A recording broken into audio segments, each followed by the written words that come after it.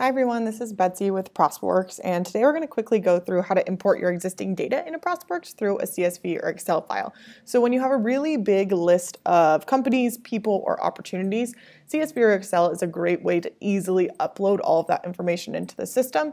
And it's really important that if you're uploading all of these items, you're going to do it in that order. First companies, then people, and then import your opportunities, it's going to help that data sync up a little bit easier within ProsperWorks. So when you go to import your data, you're going to go to System Settings, go to Import. We're going to go ahead and start off with companies, since I have a list of companies that I want to import, and we're going to choose to do that from a CSV file right here. So um, we give you a template to which you can kind of match up your own Excel or CSV file as far as titles goes, the order in which fields should go that you're importing. It doesn't have to be exact, but it's going to help things sync up a little bit easier in ProsperWorks and have less field mapping on your end, which we'll get to in a little bit. So I'm going to go ahead and click Next. I have a file right here on my desktop that I want to add in. It's my company list. I'm going to go ahead and add that. Um, let's take a quick look at what that list looks like before we go into field mapping. So you can see I have my company here. I have some of the contact information. I have if they're a current or potential customer. I have the region and their annual revenue. So it's all data about these companies I'm working with that I want to get into ProsperWorks. So I've added that into the imports here, and now it's going to ask me to map a few fields. So ProsperWorks is going to recognize a lot of the fields that you have in your Excel or CSV file based on the title. Even if those titles aren't perfect, sometimes we'll be able to tell, but sometimes ProsperWorks is going to ask you to map some of those fields. So on the left here, these are what the field titles, are within ProsperWorks. These are what the titles are within your Excel file, and it wants to match those two together to make sure we're inputting data into the right field. It's also just going to give you a little preview of what that information is going to look like in ProsperWorks. So you see in my Excel file, I had something called company. ProsperWorks isn't exactly recognizing what that field should be, and that's because within ProsperWorks, that's just called name instead of being called company. It's just the company's name. So I'm going to map those together, and it's going to recognize that. And now we can go down and see it's not recognizing these region and annual revenue fields. So if I choose this dropdown, I'm actually going to be able to see that that's not an option here. And that doesn't mean that you can't get your data into the system. What it means is you're just going to have to create custom fields within ProsperWorks before you upload that data. So we're going to go ahead and do that. I'm going to show you how to add those custom fields. So within system settings over here, we have an option in Customize ProsperWorks that's called Custom Fields. And those two options I had for region and annual revenue, I'm going to add in right now. So for region, I know I have within my Excel file, I have people that are in the Western, Eastern, and Central region. So I'm going to make that an option here. You have a lot of different options you can choose from from these custom fields. We're going to choose a drop-down menu. I'm going to say West region, East region, and Central. And I'm going to make this available on companies since that's what I'm importing right now. And I know that I actually have this listed on contacts as well, so I'm going to go ahead and check this on people and select include in filters. I just always recommend selecting this box so you can filter for any of these items and click save. So I have that option available now. I'm also going to add in the annual revenue, so annual revenue.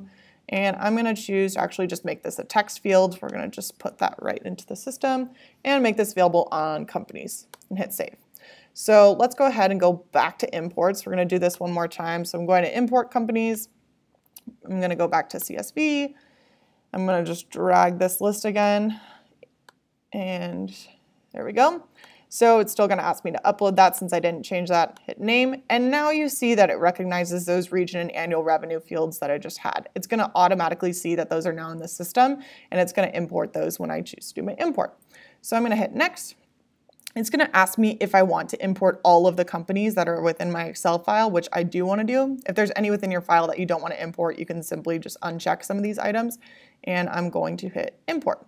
So it just takes a couple of minutes for that import to get done. It really goes incredibly quickly and you can take a look at all of that data right away.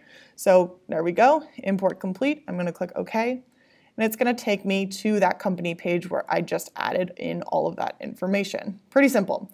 So once that information is uploaded, you can see it's just displaying the name, the contact type, when it was last modified. I can choose to customize this list view right here and add in anything I want to see in these companies. So I'm just going to click the setting icon, customize columns. I want to actually add in the region, that custom field that I added and hit save. And you can now see the region of that company appears there as well. So pretty simple to upload those companies. Now that we've done that, I'm going to upload my list of contacts. And so since we added those companies first, I'm going to show you my list of contacts right here. So you see my contact list. Now I have names of contacts that are you know, associated with those companies I just uploaded, and I have their company name right here. So as long as you have that sort of mapping done, I have the name as well as the companies I, I just uploaded, Prosperworks is gonna make the connection within the system that that contact belongs to the companies that we just uploaded. And I'll show you how we're gonna do that. So let's go back here. I'm gonna go back to import, and now we're gonna choose to import people. So same thing goes along here. I'm to select that I'm uploading from a CSV, click next. I'm going to just drag that other file that I have here, my list of contacts, whoopsie, come here, drag. And now we have that here. So you'll see Prosperworks actually recognizes all of the different fields that I had within my contact list.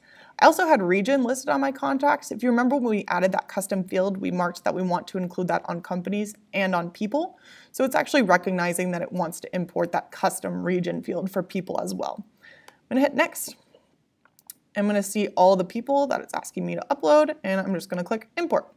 So pretty simple once you have those custom lists made, either in Excel or CSV to upload that in the system. If any of those fields don't match up, you'll see that little red indicator that you need to actually map those fields. Sometimes you'll need to create custom fields. Sometimes you'll just need to choose from a different field title within Prosperworks that it just didn't recognize. All right, so now we've added in all of those people to the system. Let's go ahead and click on Amy, for example, right here. So we see Amy Cow, she's head of community. All of her information is uploaded. We can even see that region that she's included in right here. And if we click related, we can actually, we'll open her up and see that Amy is related to Food Spotting Inc., the company that we imported earlier. If I click on that, it's gonna bring up her company. So we saw we imported companies first, we imported people, if I click over here, I can see all the people that are related to that company that I just imported. So Prosperworks relates all of those imports really well together. So that's it for imports. Hope you learned a lot today. If you have any questions, please feel free to contact support at prosperworks.com. Have a good day.